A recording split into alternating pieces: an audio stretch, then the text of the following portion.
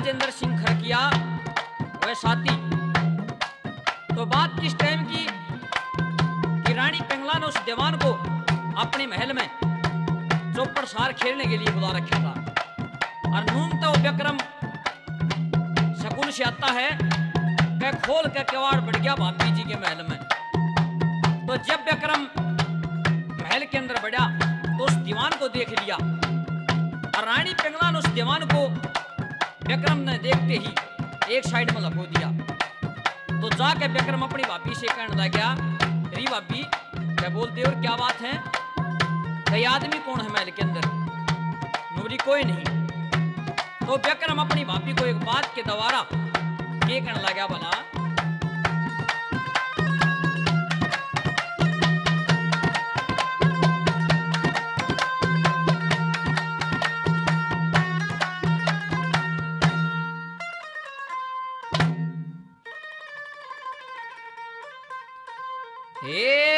भाभी मेरी। तू मत कर हेरा फेरी। ओ कौन था तेरे पास में? तेरा चढ़ी कामणी धड़कन ओरी सास